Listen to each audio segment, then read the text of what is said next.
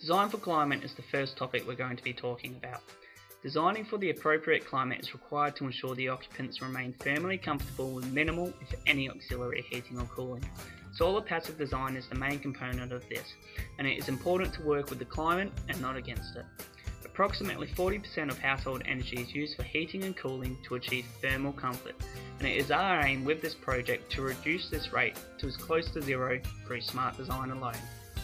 Australia is split into 8 climate zones, as defined by the Building Code of Australia. Each climate zone requires different methods and solutions to achieve a solar passive design home, so we can recognise this project is located in Climate Zone 5, warm temperate. Furthermore, NatHERS breaks these zones into a further 69 subzones, with ours being Climate Region 54.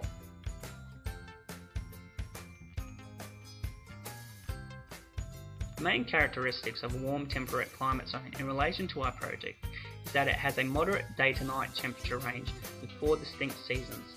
Summer can be very hot with low to moderate humidity, with mild winters also which can exceed human comfort range.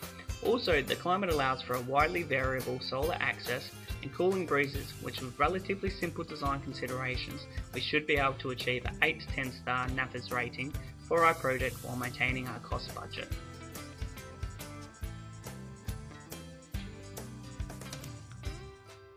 Before we go ahead and design your home, we need to do what's called a site analysis. This is done for every project that we take on board, and it is needed to identify the conditions called for a specific design adjustment so we can achieve a sustainable outcome. This is also done with a contour and feature survey. This shows the lay of the land and any specific features that we may need to include within your design. In doing this, we've realised that passive solar heating and cooling will always play a big part in achieving a higher star rating. Certain approaches are required in the local area to maximise the effectiveness of our reliable afternoon sea breeze known as the Fremantle Doctor. Also, to reduce the heat gain, we need to avoid inappropriate and overuse of glazing, even on the northern facade.